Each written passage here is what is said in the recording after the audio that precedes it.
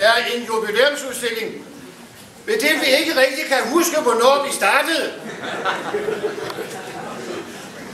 Det er altid rart at blive budt velkommen. Så her for et øjeblik siden, der gik der alle sammen rundt og sagde, det er din tur i år.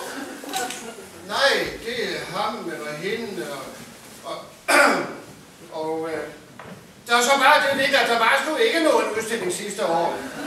Fordi der sprang vi over af forskellige grunde. Men ellers så har det været her i gymnastiksalen i mange år. Salen her, som vi har brugt til alt muligt. Sidst jeg var, der var det fællesspisning. Og, øh, og ellers øh, skolens jo så, så på en eller anden måde, så skal man ligesom, øh,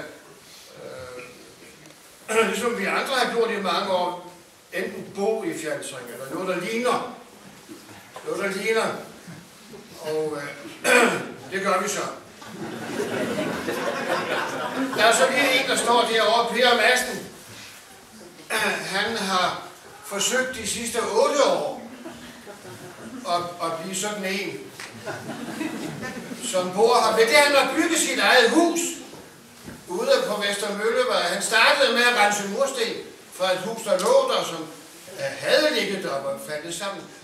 Og så har han bygget sig et, øh, et fint, fint hus. Og, og laver så billeder også. Og øh, ved det han så stod næsten bor ham, hvor han så også være med. Nej, Indgår. nej.